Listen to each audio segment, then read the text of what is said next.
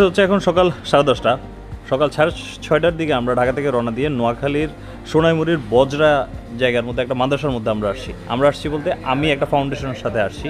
ফাউন্ডেশনটার নাম হচ্ছে আমরাই কিংবদন্তি ফাউন্ডেশন আমরা কিংবদন্তি ফাউন্ডেশন মূলত এসএসসি দু হাজার ও এইচএসসি দু হাজার দুই সালে যে সাবেক শিক্ষার্থী সেই বন্ধুদের নিয়ে গঠিত একটা সংগঠন। মূলত মানবতার কল্যাণে কিংবদন্তি সবখানে।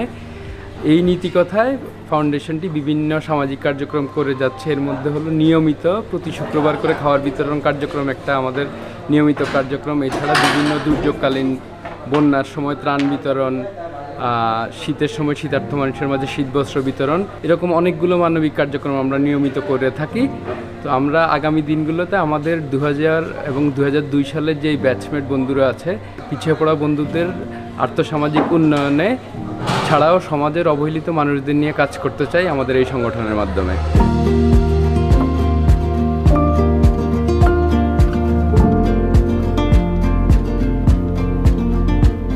আমরাই কিংবদন্তি ফাউন্ডেশন থেকে ওই দিন আমাকেও ইনভাইট করা হয় তাদের সাথে জয়েন করার জন্য। ওই দিনের কাজ ছিল এই মাদ্রাসা সহ আরও দুইটা মাদ্রাসার টোটাল দুইশো স্টুডেন্টের সাথে দুপুরবেলার খাবারটা শেয়ার করা। তাদের সাথে একটা দিন কাটানো, এরকম একটা প্ল্যান ছিল এবং আমরা সেই দিনটা সেখানেই কাটাই। তারা এই ধরনের কাজ বছর জুড়ে বিভিন্নভাবেই করে থাকে। সো আপনারাও চাইলে আমরা কিংবদন্তি ফাউন্ডেশনের সাথে অ্যাড হইতে পারেন। নিচে ডেসক্রিপশন বক্সে বিস্তারিত লিঙ্ক দেওয়া আছে। সেখানে গেলে আপনারা পেয়ে যাবেন কীভাবে আপনারা অ্যাড হইতে পারবেন বা সহযোগিতার হাত কীভাবে বাড়াতে পারেন, সে সম্পর্কিত তথ্য আর সেদিন আমরা নোয়াখালীর বজরাতে যে জায়গাটা গেছি, ওইখানে একটা মসজিদ আছে, নাম হচ্ছে বজরা শাহী মসজিদ। সেই মসজিদটা আমরা দেখতে গেছিলাম।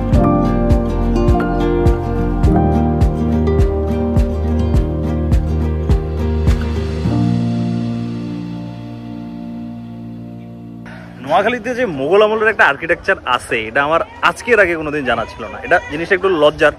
নোয়াখালীতে আমার নানার বাড়ি, লক্ষ্মীপুরে আমার নিজের বাড়ি, তারপরে এই এলাকার এই জিনিসগুলো সম্পর্কে আমার জানা দরকার ছিল। কিন্তু আজকে থেকে আমি জানি।